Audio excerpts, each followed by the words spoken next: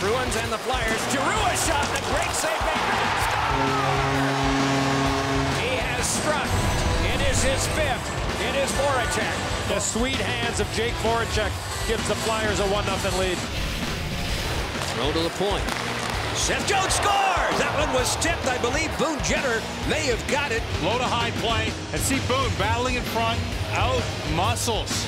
And that'll be the first point for Seth Jones in a Blue Jackets uniform. Key is if the goalie sees the pass, he's going to make the save. Lazar took it away from Andersen. Oh, almost knocked in by Stoner, and then the wraparound by Smith.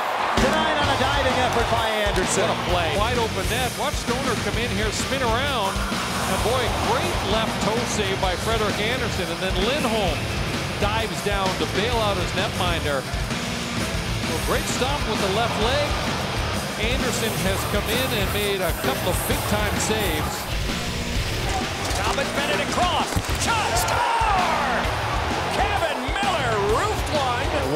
Pass by Max Talbot. He walks in, gains about 10 feet, and blows it by Mason. And that's a rifle shot by Kevan Miller. Giroux to Voracek. For Giroux, but that one played across. Mark Streit moved up on the play and stashed it. And pitch and catch the initial chance doesn't get through. And then Streit really from an impossible angle. Miller back in the lineup. Works the puck out front. Quick scored. It's Sam Bennett. Check. Bennett follows up. Bennett right in. Scores. One with Bennett. Engelland shoots. Stopped by Luongo. Back out front. Bennett scores. A first period hat trick for Sam Bennett.